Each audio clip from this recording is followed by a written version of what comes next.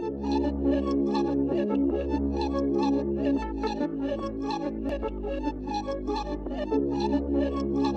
up, folks? My name is Ronald Wimberly, and I'm a cartoonist. You may know me from such projects as LAAB, which I also did with Beehive. Well, this time I'm here to bring you Grat short for Gratuitous Ninja.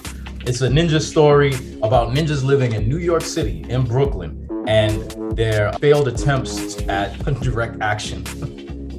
Grat takes place in a New York City where the ninja followed the Dutch for vengeance, the Shimabara Rebellion. All right, now 200 years later, one of the most foremost ninja clans has removed itself from history and they're pacifists. Our story follows a group of youth who join this ninja clan and decide they actually want to interact with their society, with their neighborhood to try to right some of the wrongs that are going on in it.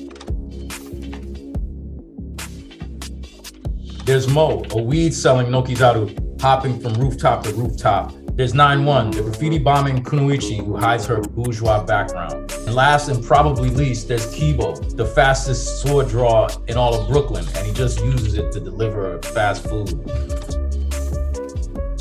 So Gratnin started as an episodic Infinite Scroll webcomic. We've remixed it into a box set designed by the team that brought you LAAB Number 2, exploring the world of Gratnin with a subway map, trading cards, and 400 feet of accordion ninja comics.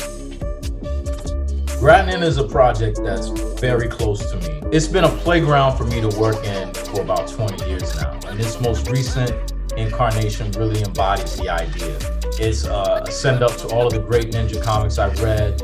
I'm just presenting this full formed Gratnin experience to y'all. I hope you enjoy it. And this is for all the heads that was with me from day one, you know, reading these Gratnin comics. So, like, this is for y'all.